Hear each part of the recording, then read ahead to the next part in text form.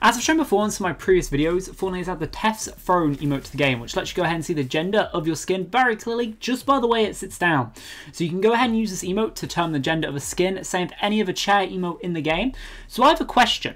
If we go and use the Joey skin, if you don't know what's special about the Joey skin, the Joey skin can both have a male and a female version. So it has an unzipped version and a zipped version. You can go into its built-in emote and it will go ahead and change the skin into its different one.